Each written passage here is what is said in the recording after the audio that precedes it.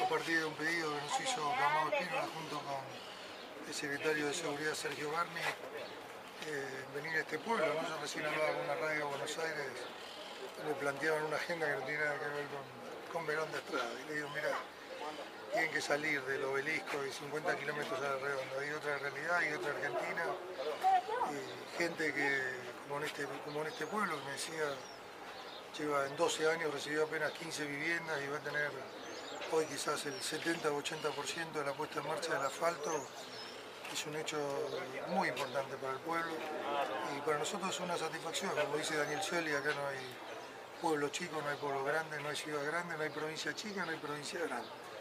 Todos son argentinos que tienen los mismos derechos, las mismas obligaciones y nosotros trabajamos así. Hemos recorrido el país, ya no sé, en provincias que más de 10 oportunidades desde final del 2013 y nos gusta, nos gusta lo que hacemos, tenemos pasión por lo que hacemos y, Daniel es un hombre que cuando habla, habla hablándole a cada, argentino, en cada rincón de la Argentina, porque sabe la necesidad que hay en cada parte de la Argentina. Mensaje claro del futuro presidente de todos los argentinos y del país, por supuesto, también de integrar y solidarizarse con cada región de nuestro país, ¿no?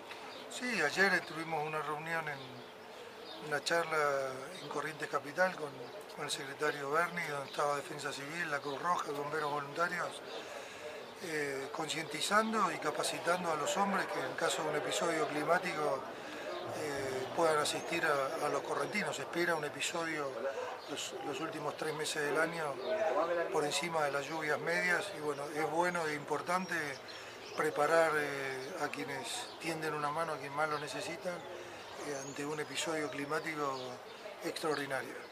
Y también, bueno, ayer tuvimos una charla con el equipo de producción de la Fundación Desarrollo Argentino, que es la fundación que está elaborando los, programas eh, para Daniel Scioli de lo que es hoy, digamos, la visión que nosotros tenemos, que tenemos que recuperar competitividad en las economías regionales, que hay que rever la matriz de subsidios y la matriz de retenciones. El norte argentino, sobre todo, está sufriendo la pérdida de competitividad por una caída de precios internacionales y una suba de costos internos. Entonces, hoy el país, un país ordenado económica y socialmente, y desendeudado nos permite pensar en los próximos 10 o 20 años y eso hemos trabajado.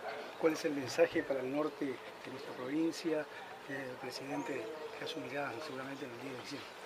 El compromiso de ser un, te quiero dejar el mensaje de ser un presidente federal, un presidente con el que tiene que recuperar el federalismo productivo de la Argentina, una fuerte impronta tanto en su gabinete como en la ejecución de su política de gobierno mirando al interior, del interior hacia el centro del país y que ustedes los correntinos lo conocen a Daniel Cielo. Es un hombre que toda su vida se preparó, no es un hombre que de ocasión vino a Corrientes, ha venido creo que ya 10 o 12 ediciones de Goya a la fiesta de Surubí, a esta corriente que tanto él quiere, que le ha dejado tantos recuerdos en su carrera deportiva también y lo conocen, es el mismo Daniel de siempre, un hombre que ama su país eh, y ama su tierra. Y yo estoy seguro y estoy convencido, lo conozco mejor que nadie, que si la gente lo acompaña fuertemente el 25 de octubre, será uno de los mejores presidentes de la democracia. Gracias. Gracias a usted.